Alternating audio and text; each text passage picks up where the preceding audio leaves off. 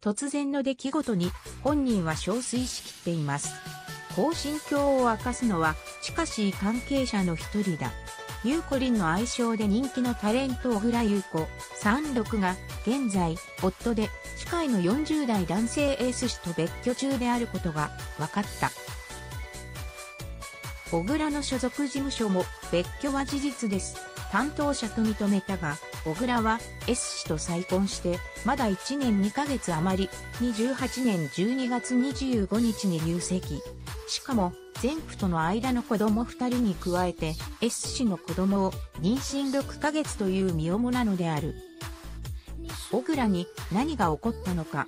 子供2人と妊娠6ヶ月の妻を置き去りに S 氏が昨年末に突然家を出て行き連絡が取れなくなったと思ったら年明けになって今後は弁護士を通して話をするといった一方的な通告書が来たそうです。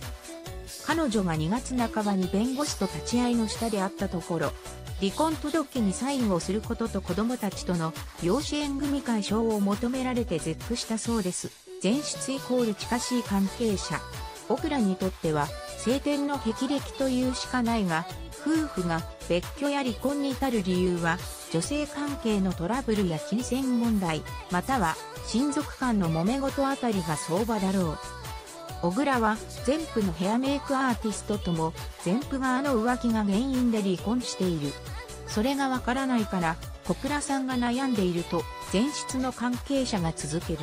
もちろん芸能人と結婚する大変さというのは実際に生活しないと一般人の S 氏には理解できない部分も多かったはず。それでも彼女は育児も含めて献身的に尽くしていたし、今も夫に戻ってきてほしいと願っている。S 氏は家庭に入って専業主婦になってほしいとも話していたそうですが、夏には第3子も生まれるのでもうじき産休です。S 氏が表変した理由がわからないから余計に苦しい。再婚の決め手について、子供たちが S 氏に懐いたことを挙げ、見た目ではなく人間性で選んだと周囲に語っていたという小倉。